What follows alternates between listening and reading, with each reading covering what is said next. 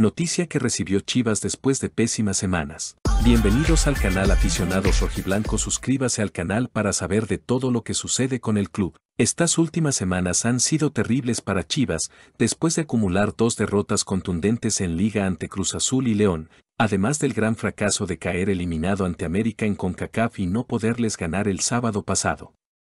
A pesar de no poder ganar ante las Águilas, el equipo de Fernando Gago recibió una buena noticia, gracias al empate sin goles que se registró en el Estadio Akron. Tuvieron que pasar 10 partidos para que Chivas mantuviera su arco sin goles y el resultado ante América provocó que al menos pudieran destacar eso, después de una semana terrible.